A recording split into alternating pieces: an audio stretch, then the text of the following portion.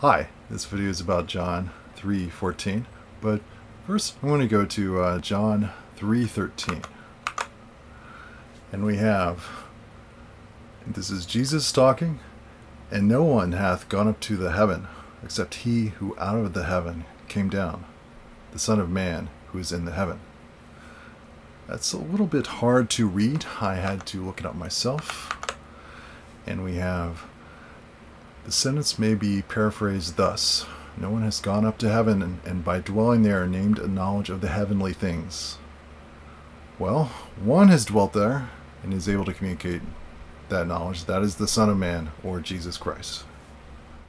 As Moses lifted up the serpent in the wilderness, even so must the Son of Man be lifted up, that whoever believes in him should not perish, but have eternal life. So, the Son of Man, or Jesus Christ, was lifted up in the same way as Moses lifted up the serpent. It's directly there. So why, what happened to the, to the serpent? Why was it lifted up? Why? Jesus didn't only claim to be a prophet. He claimed to be the prophet that Moses had foretold. So when he said that he is going to be raised like the bronze serpent, maybe we should figure out what that bronze serpent was.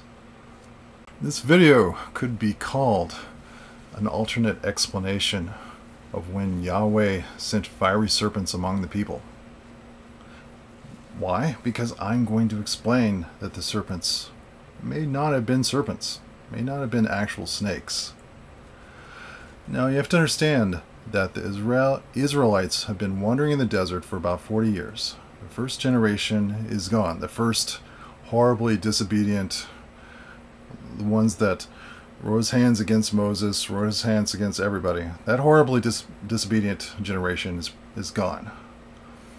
So now they're they're uh, almost they're so far east. They're almost into Jordan, and they're going up to the promised land through the way of Atharim.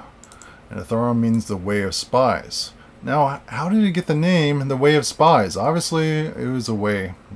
Well, that's the path the spies took anyway. Well, what was the way that the Israelites were traveling? They were traveling on the way of Atharim. It's a horrible road. And I'm reading from the text here. They traveled from Mount Hor by the way to the Red Sea to compass the land of Edom. And the soul of the people was much discouraged because of the way. The people spoke against God and against Moses. They said, Why have you brought us up to out of Egypt to die in the wilderness? For there is no bread, and there is no water, and our soul loathes this light bread. So the Israelites were grumbling, hungry for bread, tired of uh, burning, burning themselves out in the middle of the desert. And what did God send them but uh, seraphs?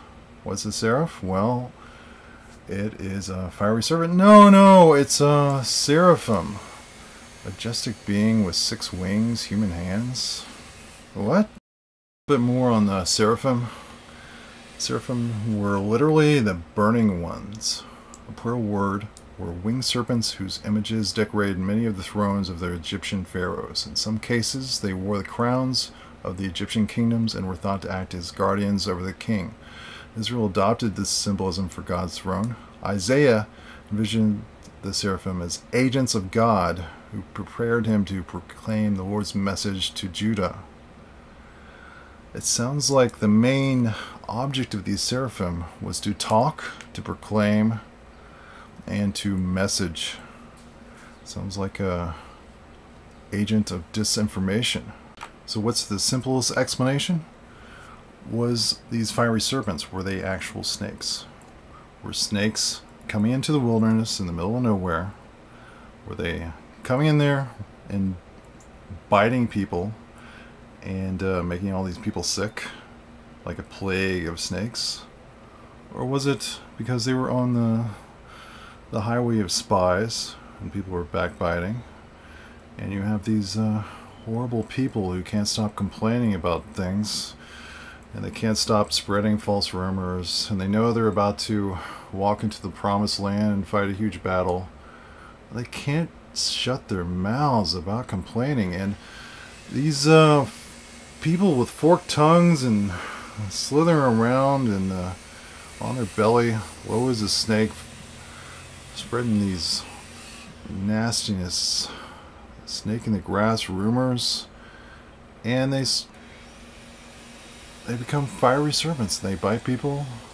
People died, and people came to Moses and they said, "We've sinned. We something has to stop this." And Moses prayed, and he says, "Make a fiery serpent, set it on his standard. It shall happen." That everybody who's bitten, who shall, when he sees it, shall live. Now, what did that fiery serpent look like? I don't know what a fiery serpent was, but I'm going to bet it was something like this. snakes don't show up in the middle of the wilderness, but backbiters and complainers do. The only way to deal with all these fiery serpents is to make an example. So Moses made a fiery serpent out of bronze and he set him on a pole. And whoever who looked at the fiery serpent on the pole would live. That's the last we hear of the fiery serpent and the last of their problems in the desert. It shows up again in, uh, I think it's Second Kings, where one of the judges has to cut the the serpent of bronze apart because people are burning incense to it. That doesn't explain why they kept it around for, for so long. If it's if it's really an idol that can heal people, why would you just continue to venerate it? I mean, it's uh, Judaism, there's not any idol idolatry allowed. You can't keep idols around. That doesn't make any sense. Why would you... Why would Moses make... Take a brass thing, make an idol out of it, and put it on a pole? And have people uh, look at it? No, no. I don't think so. Jesus uh, went up to the cross. Was he just uh, another fiery serpent? Was he just another backbiter, a false prophet? Someone who was causing problems for the Israelites? And this is, I'm going to the Gospel of John. This is the Apostle John. He's talking about John the Baptist. John testified about him. He cried out, saying, this is he of whom I said, He who comes after me has surpassed me, for he was before me. And back to the apostle. From his fullness we have all received grace upon grace. For the law was given through Moses. Grace and truth were realized through Jesus Christ. What that means to me is Moses only had half of it. He had the law. He didn't have Jesus.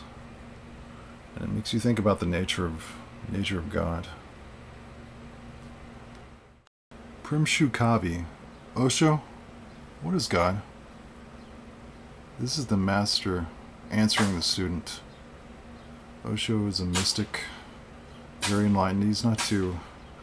Osho is not very sympathetic to a Christian God. Osho answers, God is not a person. That is one of the greatest misunderstandings, and has prevailed for so long that it, it has almost become a fact. Even if a lie is repeated continuously for centuries, it is bound to appear as if it is a truth. God is a presence, not a person. Hence all worshipping is sheer stupidity. Prayerfulness is needed, not prayer. There is nobody to pray to, there is no possibility of any dialogue between you and God. Dialogue is possible only between two persons, and God is not a person but a presence, like beauty, like joy. God simply means godliness. It is because of this fact that Buddha denied the existence of God. Buddha wanted to emphasize that God is a quality and experience like love. You cannot talk to love, you can live it. You need not create temples of love. You need not make statues of love, and bowing down to those statues will just be nonsense. And that's what was happening in the churches in the temples in the mosques. That's his answer. It's kind of an intellectual God. Osho thinks God is the greatest thing. Why can't the greatest thing have a voice? Why can't the greatest thing make a sound?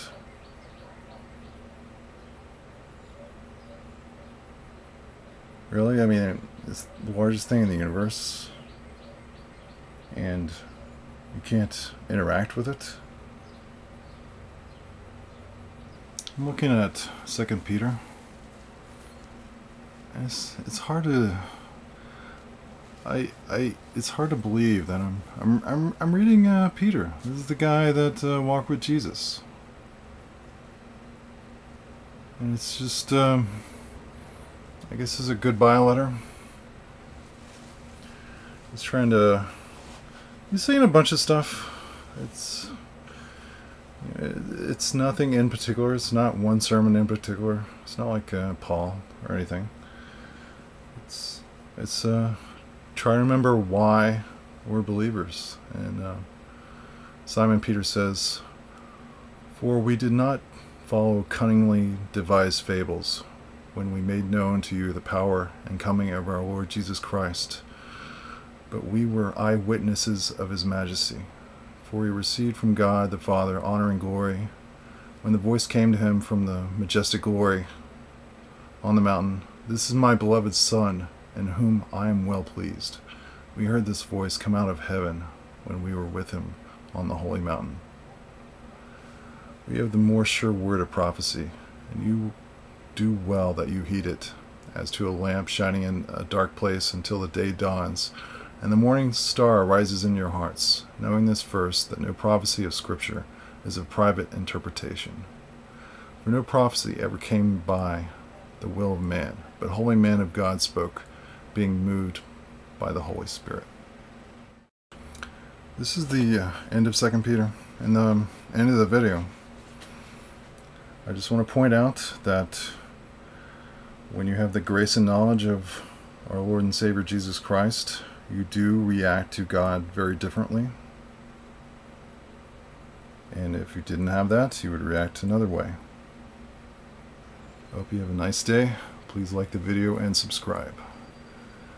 Regard the patience of our Lord as salvation, even as our beloved brother Paul also, according to the wisdom given to him, wrote to you, as also in all of his letters, speaking in them of all of these things, and those there are some things that are hard to understand, which the ignorant and unsettled twist, as they also do to other scriptures to their own destruction. You therefore, beloved, knowing these things beforehand, beware, lest being carried away with the error of the wicked, you fall from your own steadfastness. But grow in the grace and knowledge of our Lord and Savior Jesus Christ. To him be the glory both now and forever. Amen.